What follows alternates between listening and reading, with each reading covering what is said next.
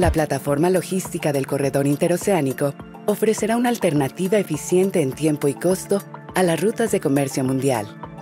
A continuación, se informa el avance de obras a 4 de enero de 2021. En el puerto de Coatzacoalcos, con el objetivo de crear una vialidad directa y eficiente al muelle de la Laguna de Pajaritos, se realizan acciones para concluir el acceso carretero, que tiene un avance de 92.6%. Además, avanzamos en la ampliación de 130 metros de muelle y el dragado de construcción para que puedan ingresar los buques. En el puerto de Salina Cruz, para la conformación de 1.6 kilómetros del rompeolas oeste, se han creado el 6.9% de los elementos de concreto necesarios. Como parte de la construcción del muelle temporal para barcazas, se continúa el hincado de 16 perfiles de acero y 13 secciones de tabla estaca. Para la renovación de las vías del ferrocarril del Istmo de Tehuantepec, hay obras activas en los cinco tramos del recorrido, desde Medias Aguas, Veracruz, hasta Salina Cruz, Oaxaca, con un avance total del 21%.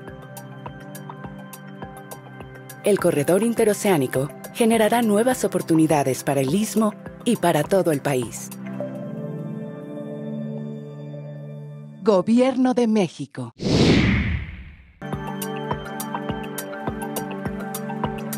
La plataforma logística del corredor interoceánico permitirá el paso de mercancías de un océano a otro sumando una alternativa a las rutas de comercio mundial.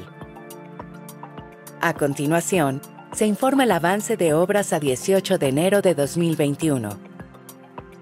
En la nueva terminal de la Laguna de Pajaritos del puerto de Coatzacoalcos, comenzó el colado de los en el tramo de 80 metros de muelle, el último paso para concluir la obra. En el tramo de 50 metros, continúan los trabajos de habilitado y colocación de acero. Ambas obras presentan un avance del 97%. El acceso carretero tiene un avance del 98.6%. Se realiza el colado de banquetas y colocación de carpeta asfáltica.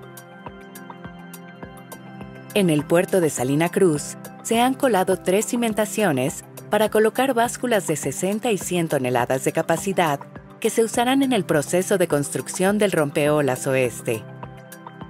Además, se han colado el 8.6% de elementos de concreto que se utilizarán. En el ferrocarril del Istmo de Tehuantepec, hay obras activas en cinco tramos de Medias Aguas a Salina Cruz, con un avance total del 23%. Se realizan trabajos como limpieza, desmontaje de vía y nivelación del terreno. El paso interoceánico del Istmo de Tehuantepec es un proyecto anhelado. Finalmente, gracias a la voluntad política del Gobierno de México y el apoyo de las y los ismeños, será realidad. Gobierno de México.